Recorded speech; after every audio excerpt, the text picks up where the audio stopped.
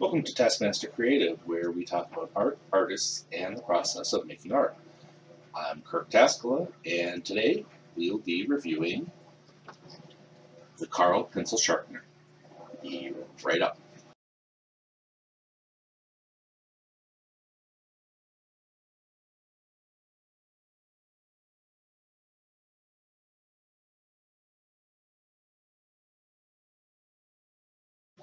Okay, we're here today to talk about the Angel 5 pencil sharpener uh, made by Carl.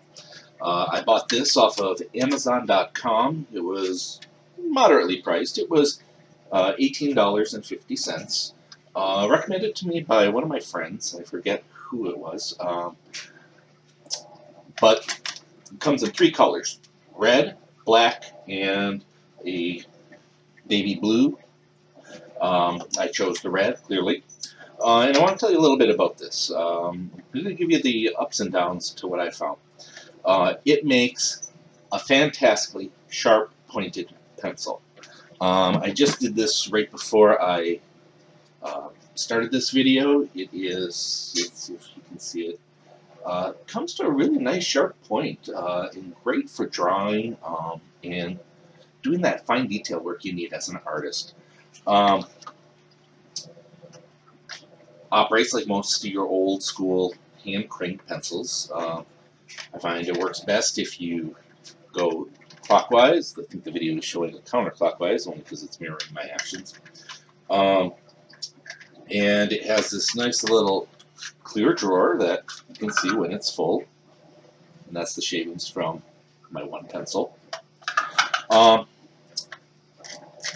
has this nice little holder that will clamp onto your pencil when you are sharpening it. So holds onto it like that. Um, it does come with this little tool that will hold on, inserts right here in the bottom, and will clamp onto your table, and you just tighten it up with the wing nut here at the bottom. I do recommend that you do use this to give you that extra leverage that you need. Um, that way you don't have to try to hold onto the pencil, pushing it in as well as cranking it. Um, it just gets a little awkward. I have been able to do it, but I kind of have these monstrous huge hands. Um, all right, we. It does have this pull out if you ever need to get in here for some reason. Um, and when you crank it, it snaps right back in. Um, I did find that you do, on occasion, need to pull out the mechanism, and you just rotate this counterclockwise and pop it out. Um, because on occasion, I have had soft leads that have broken off way in the tip in there.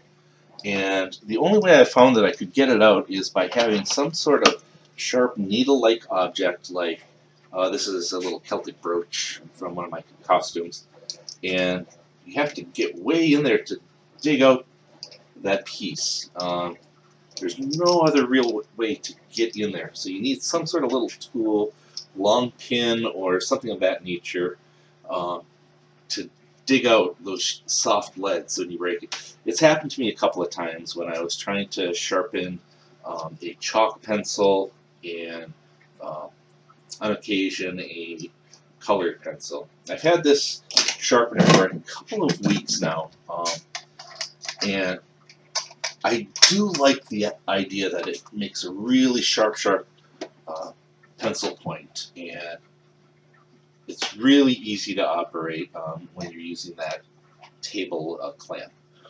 Um, 1850, I do recommend it with that one caveat about trying to sharpen soft pencil leads. Uh, aside from that, uh, I think it's a moderate purchase, moderately priced purchase, uh, well worth your time, and uh, give it your thought. Uh, I'm giving it about three and a half stars uh, out of five. So, uh, yeah, maybe I'll even go up to four. The, that one caveat, it is annoying, but you can deal with it um, if you have the right tool.